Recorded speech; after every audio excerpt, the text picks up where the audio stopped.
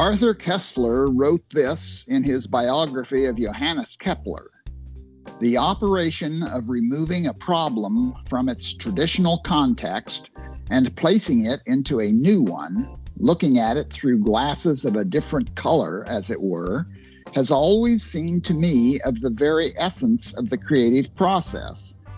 It leads not only to a revaluation of the problem itself, but often to a synthesis of much wider consequences brought about by a fusion of two previously unrelated frames of reference. My sane friends point out that an electrified universe is impossible. It would take an astronomical amount of energy to create any significant amount of charge separation in space. Various calculations, usually on the backs of envelopes, show that to produce the effects conventionally attributed to gravity would necessitate electrically a separation of charges requiring many times the available energy. To turn a nuclear star into an electric star, for example, would require many times the energy output of the star just to separate enough electrons from their hydrogen protons to generate sufficient current. With galaxies, the problem is billions of times worse. It's much easier, the difference, they say, between possible and impossible, to squeeze a cloud of hydrogen with its own gravity until it gets hot enough to ignite its nuclear furnace. Of course, they're right. They're the experts and they're saying besides. Everyone knows those hot nuclear stars began as cold clouds of hydrogen. We detect those clouds throughout the universe, and they must be collapsing because the law of gravity requires it. As they collapse, they heat up until the heat triggers nuclear reactions. Then the radiation pressure outward balances the gravitation pressure inward, and a star is formed. This is a chain of logic that's linked together with mathematical certainty.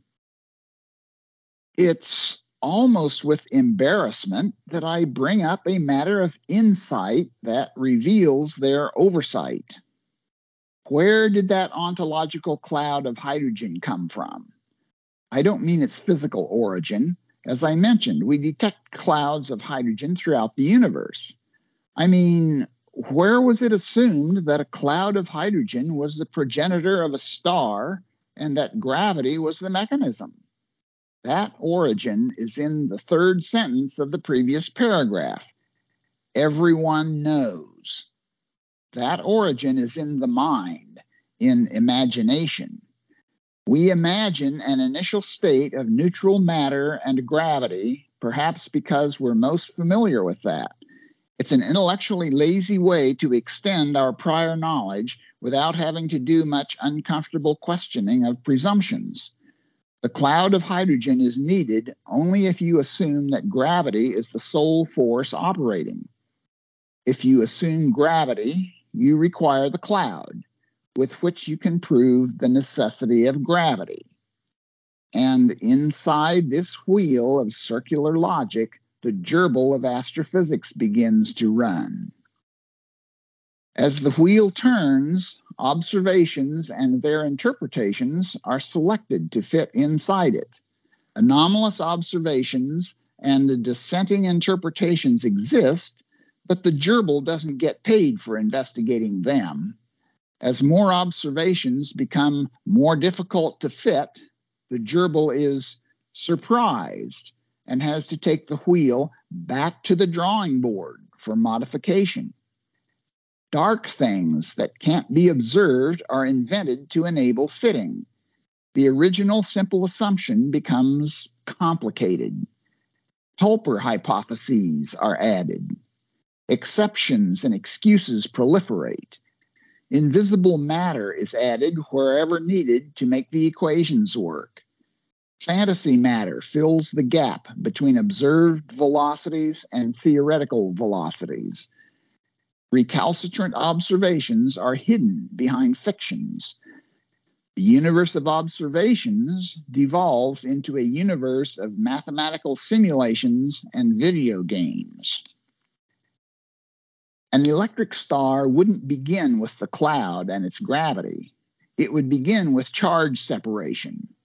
Everything we see in the universe, with the possible exception of a few specks of planets and reflection nebulas, is ionized to some degree, even those ubiquitous clouds of hydrogen.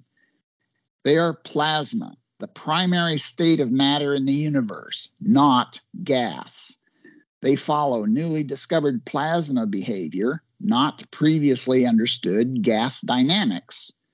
The positive ions and negative electrons move, and because protons are a couple of thousand times more massive than electrons, any force, electrical, magnetic, gravitational, even mechanical, can cause some separation of charges. An immeasurably small surplus of one electron or proton in a volume measured in cubic meters is all that's necessary for a weak electric field to exist in deep space.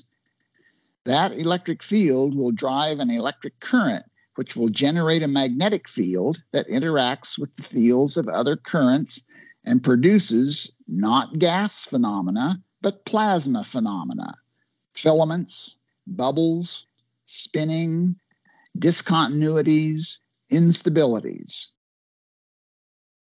An elementary observation of matter in deep space is that it's twisted into filaments called Birkeland currents that snake along the magnetic field lines.